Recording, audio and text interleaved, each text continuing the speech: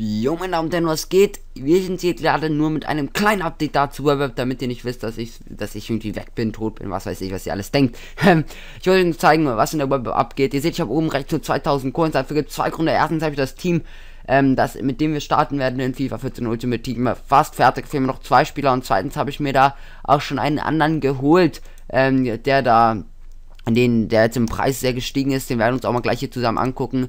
Das ist ja ein gewisser, ähm, na, wie heißt er? Er heißt Pierson von Vitesse, eigentlich ja bei Chelsea. Wurde dann ausgeliehen und ja, den habe ich für 4000 geholt, ist jetzt bei 8100. Ähm, der Preis geht jetzt wieder ein bisschen runter, war mal bei 9000.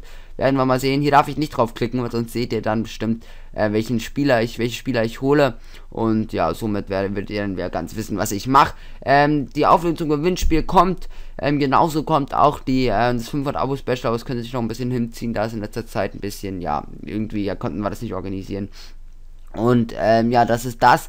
Ähm, sonst werde ich auch noch ein Video rausbringen, wo ich sagen werde, wo ich dann, ähm, wie ich dann oder wann ich dann, was weiß ich, ähm, für Videos in FIFA 14 rausbringen werde, damit ihr eine kurze Übersicht habt. Das Spiel kommt ja bald raus, ähm, aber FIFA 14 kommt dann halt nur noch die Auflösung zum Gewinnspiel und das war's dann aber auch schon. Danach kommt dann nichts mehr. Das ist also nur ein kleines Update, damit ihr wisst, was so passieren wird in der Zukunft, was für Videos kommen.